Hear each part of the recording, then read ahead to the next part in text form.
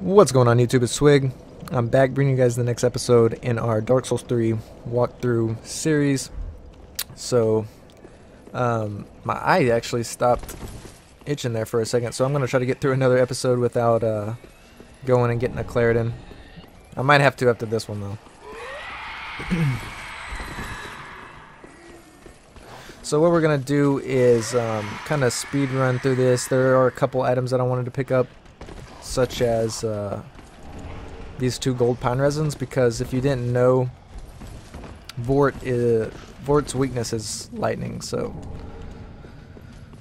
And actually real quick let's take off this stuff so we can uh, maneuver around better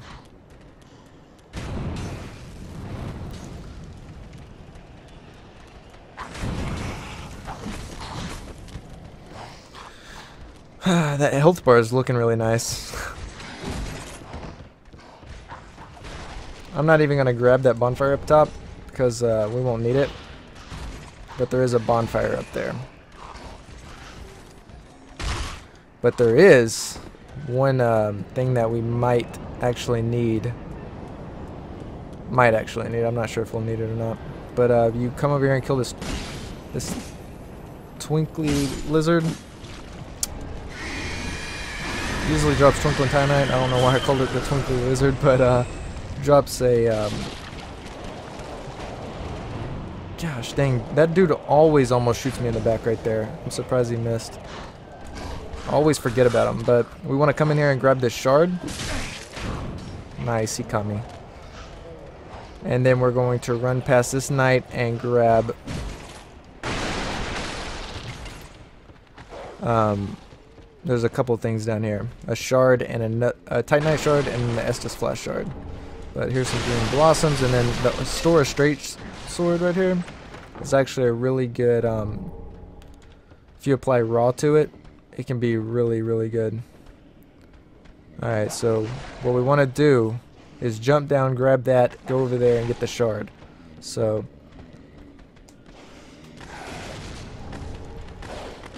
gosh, uh, it's always sketchy because of the dogs. And then those other guys hit like a tank.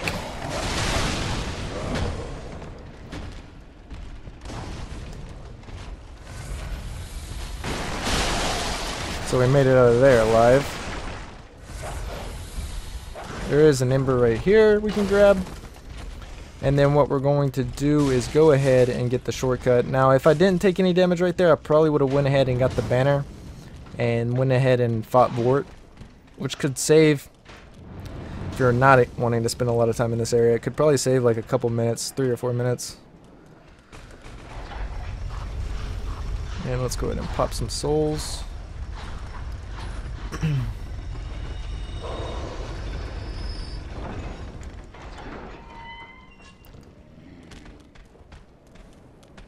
And then for time's sake, we might just want to go ahead and uh, go back to the Firelink and upgrade our shard. Man, the dogs in this game are freaking crazy.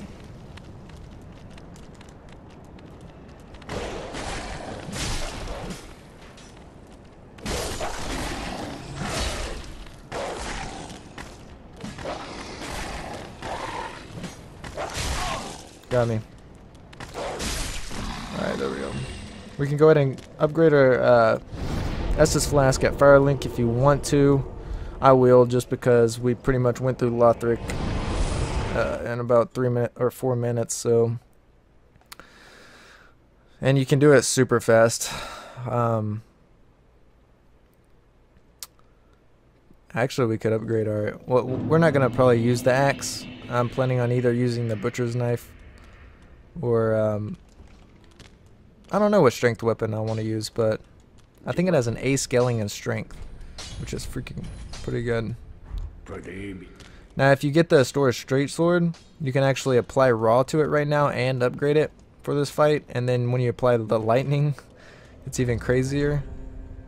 Let's go ahead and level up once as well. The bad thing is, I think strength requirement for the butcher's knife is 25. So instead of putting those points in vigor early on, I might should have put them into um, strength. But anyway, it doesn't really matter that much because we're, we're going to be going and killing Vordt. We'll spend all those points on strength, and then when we kill uh, the Curse-Rotted Greatwood, we will put all those points into strength as well. Our health is looking really good, and um, unless we get an unfortunate death, which you know in the Dark Souls series can happen very easily. Although I've been trying to work on my no death runs because right before Dark Souls 3 came out, like a few days, well, the Japanese version, right before the Japanese version of Dark Souls 3 came out, I no death uh, Dark Souls 2. And I really never, I, there was about two or three times during uh, the Dark Souls 2 life cycle, which I started on it late, so um, I tried a couple of times to no death Dark Souls 2, but I finally no death it right before the Japanese release of Dark Souls 3, so it was like perfect timing.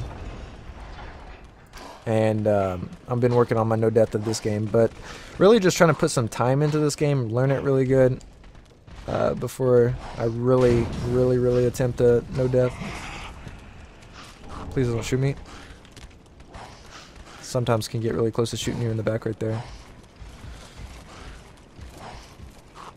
And that guy always tries to poke you almost. But you have to come in here, and uh, in order to proceed to the next area, which you can get this before or after the boss, but just come talk to her, and uh, she'll give you the small Lothric banner, which uh, enables you to be picked up by those. Uh, I forgot what they're called, but they're the same creatures that pick you up in Dark Souls 1 to take you to Anor Londo from um, from Sen's Fortress, or at the top of Sen's Fortress after Iron Golem. But uh, before we activate this boss, actually, let me go ahead and equip all my armor. and that's a nice feature as well, uh, being able to flip through your menus, like while you have this selected.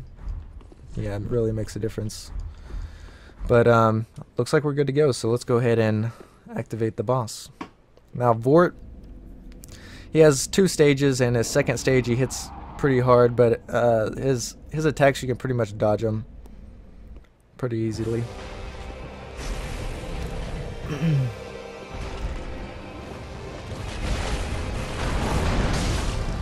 and we are just going to try to do as much damage before the second stage as possible, or as quick as possible, so that we keep the uh, pine or the lightning resin.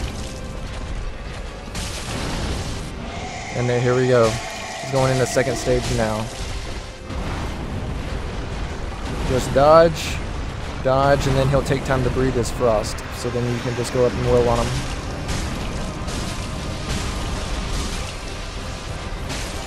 Flawless, baby. That's how we do. Vordt is down. And we still have a resin. Ooh, we got a trophy too. So very nice. Sit at the bonfire and make the doors open up faster. and we can go ahead and take off our equipment as we, uh, oh not the ring now, as we don't need it for right now. And we get to look at the undead settlement. Oh man, it's beautiful. Be a beautiful.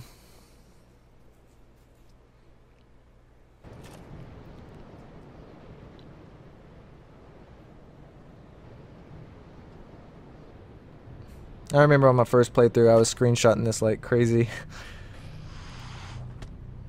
this view.